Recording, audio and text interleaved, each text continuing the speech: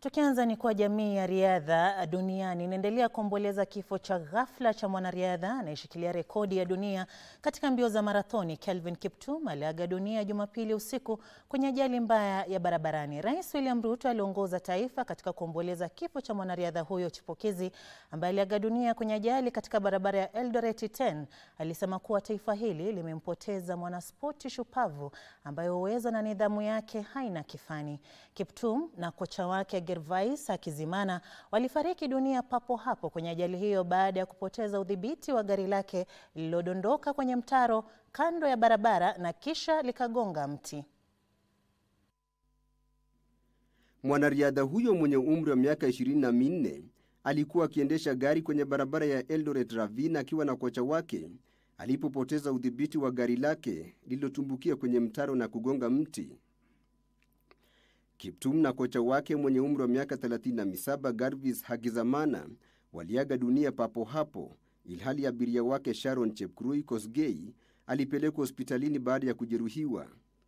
Tumepoteza watu wengi kwa sababu ya barabara ambaye ni, ni naro kabisa, ipanuliwe kwa future ili tuwe tukienda kwa. Nataka tena kusema watumizi wa barabara, madrivers waende polepole na waende na uangalifu ili wazuie ajali kama hizi. Maya na hiyo ni He's waving to the crowd, kisses.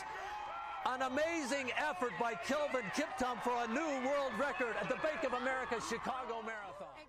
Kiptum ambaye alishiriki kwenye mbio za marathon kwa mara ya kwanza mwaka 2022 jijini Valencia alivunja rekodi ya dunia ya mbio za marathon iliyowekwa na Eliud Kipchoge aliposhinda mbio za marathon za Chicago kwa muda wa saa 2 na sekundi 35.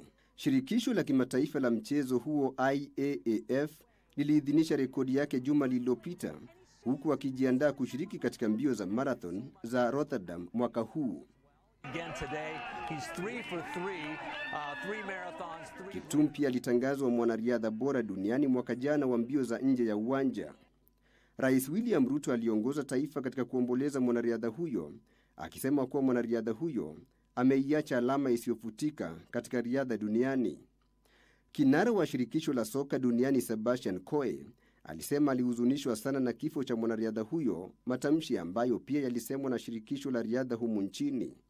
Aliyekuwa waziri mkuu Raila Odinga alisema kuwa alihuzunika kufahamu kifo cha mwanariadha huyo mashuhuri.